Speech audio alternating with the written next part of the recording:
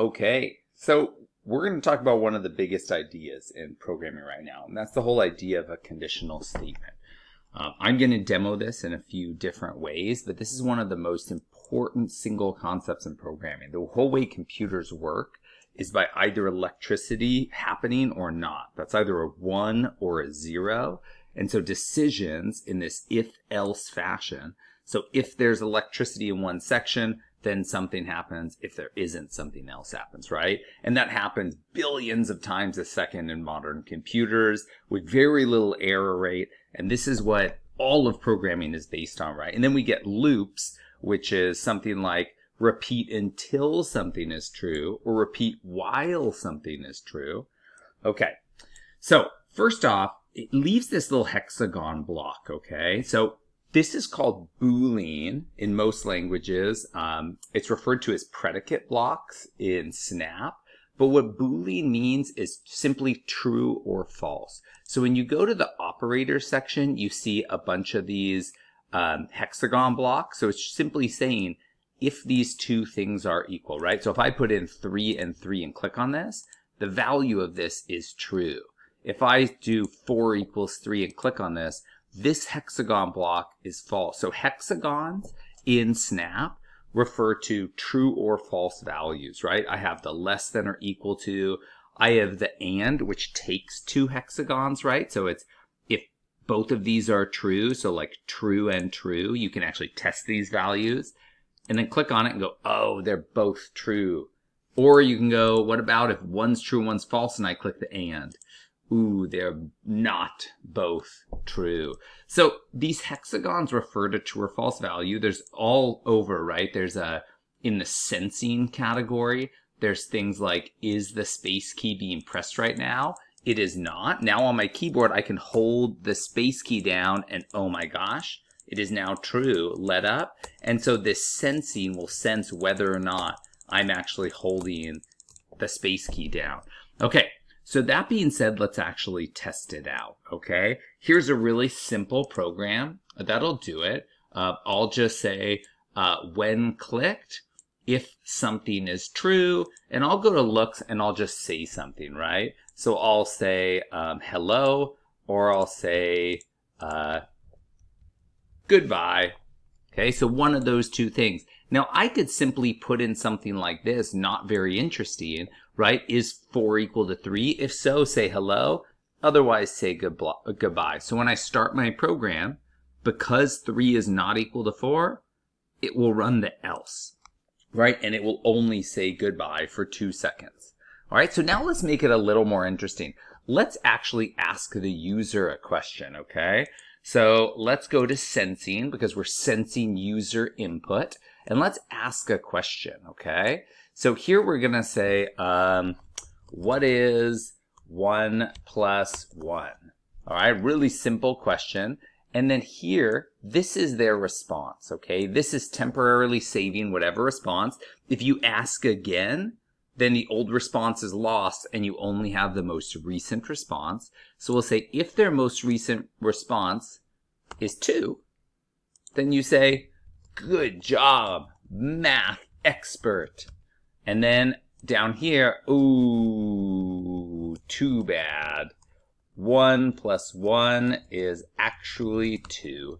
Right? So here's a nice easy program where we go, okay, let's ask this question and wait. So when I click this, it prompts up us with a question and then we have to type something in here.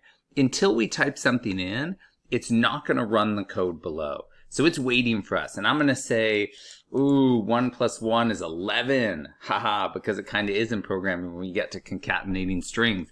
Let's say it's 11 and, oh, too bad, not true, right? Whereas when I run it and I click 2, woohoo, good job, math expert. So that's the basics of a conditional. Okay. Now I'm going to do the same thing, but now I'm going to do it with motion. Okay. So I'm going to use some ifs or some if else to steer a character around. I'm going to leave it as this little turtle sprite for now.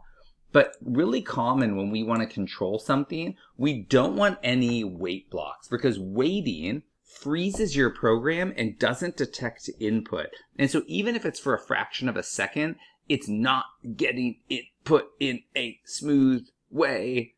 And all of a sudden your program becomes jumpy and skittery.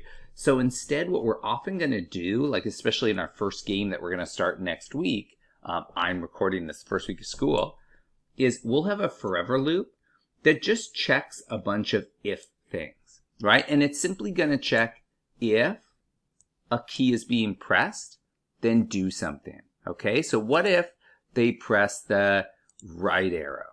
Then let's go ahead and move to the right. So let's go to motion and let's just change our X by 10. Okay, same thing. If we are pressing the left arrow, then move X by negative 10. Whoops, that was 109. So now when I start this, this is highlighted because this block of code is running. So it's forever looping. So it's running through here bajillions of times, so fast, so fast. Actually, probably just in the thousands because it's not actually that fast. Uh, and then when we press the right arrow, so I'm going to press right, oh my gosh. And when I press left, we go left. And it's a very smooth motion because it's happening individually so many times. Right? So one way we could just check how fast this forever loop is running is we could just make a little variable. So I go to the variables tab and I make one and I'll just call this counter. Okay. I show counter up here. I don't have to. I can check this box here to make it visible or not. I think you might even be able to right click on this. Um, no, you can't. But this little checkbox right here shows it and hides it. And what I'm going to do is at the very beginning, I'm going to start the counter at zero. And then every time this loop runs, I'm going to change the counter by one. So now we can see how many times this loop is running. Okay. So it's only run 100 times so far, so not very fast as compared with many other programming languages where a simple loop like this will have already run probably hundreds of thousands of times, if not millions of times. So here we go is our smooth motion. Notice I'm only using an if right now. Um, one benefit to that is if I wanted to say check the up arrow and say uh, let's move change the whoops change the Y position by 10, I could actually do both of these because as the loop comes down, it will say, am I pressing the right arrow? Then do this. And separately, totally separate question, if I'm pressing the up arrow, move up. So what that lets me do is if I hold both, I can go up and to the right. So I want to actually go back to the middle. But notice that I can go up diagonally. Whereas if I had done this in an, and I can always click on this or right click on this and click relabel and it changes to all the different variations of that same block. So instead of an if, if I want to do an if else, and then I put this, if I'm pressing the up arrow, do this, now I can only go to the right or up. I cannot press both right and up and go up and right because it says if I'm pressing the right arrow, do this, and then skip the else and keep going. Okay, so that was just a simple example of how you could do this. Now let's do a, a totally different example. So I'm going to put this back in here and I'm going to stop my program. What I'm going to do is on this sprite, I'm going to go up here and I'm going to import some costumes. Okay, so let's import maybe um, two different things. Okay, let's go to maybe a, ooh, a bear. That's a good one. And then let's also put in another animal. Let's put in a, a cat. Whoa, it's a crazy cat. Okay, so one thing you could do is ask the person um, playing your game maybe to choose a character. Now this is a very simplified version. Okay, so at the beginning, I could use that sensing to ask a question. And I would say, would you like to be a bear or a cat? Okay, and then what we could do is we could, at the beginning, we could say, of these two costumes, I actually don't want to be either. I want to start just as the turtle. Or you could have some other blank or hidden or just a decoration in general. And then what you'll do is you say, would you like to be one? Now, after that, at the beginning of your program, you could say, well, if and then you would go to operators and you would use that equals. So if their answer was bear, okay, now remember under sensing, right where you asked the question, there's an answer option. So you say if their, whoops, if their answer was bear, then what you could do is you could go to looks and you could say, oh, where is it? Um, oh, here it is. Switch to costume, bear. And notice because it has a clear name, let's even um, rename this to just lowercase bear.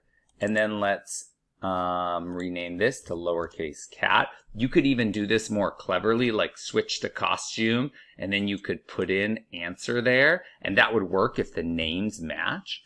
And so you could say, if answer is equal to bear, then switch costume to bear. Okay. And then what we're going to do is we're going to use an if else because we don't want three different costumes to come up. We only want one option to come up. Now, the way you have that happen is in if else with another if else like this. And so what this gives you is it gives you exactly three possibilities. If the first thing's true, only this happens and it skips the entire else. So this whole block is ignored. Um, if that one's not true, then it goes to the else and it says, well, is this second question true? If so, then only do this and skip the else. And if both of these are false, so neither one is true, then neither of those things happen, and the else catches every possibility and runs. So what I'm going to say is, did they pick bear? Or did they pick cat? Or otherwise say that's not an option, right? So here I'm going to put an if else in here. So we already said if the answer was bear, then switch to bear. And then in here we can say if their answer was cat, then switch to costume cat. And then finally, um, if they pick something else, then what I'm going to do is I'm going to switch to the costume turtle because they picked some incorrect thing. And then I'm going to give them a message saying they picked an incorrect thing. So I'm going to say the only valid responses were bear or cat. Okay. And then if you wanted, you could even put a little loop on it where like this would loop back up to here. I'm not going to do that in this video, but let's try it out, okay? So let's say I want to be a bear. Oh yeah. I want to be a dog. Ooh, the only valid responses were bear or cat, and it switches that costume. I'm actually going to switch to the costume before the message. I didn't like that it stayed as the last bear. Okay, so I want to be a cat.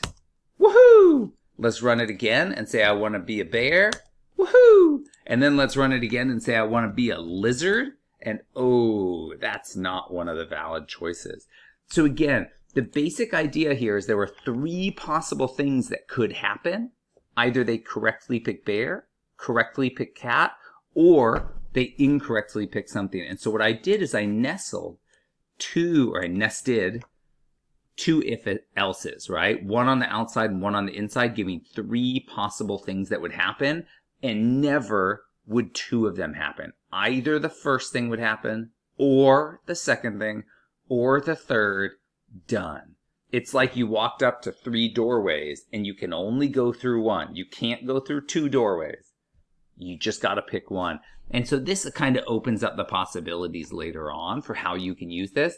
And absolutely sometimes, like when we were doing motion, um, instead what we did is we said forever and we wanted them to be able to do left, right, up, down. So instead we say forever, check a bunch of separate ifs, right? That's totally okay. It's just based on the situation, right?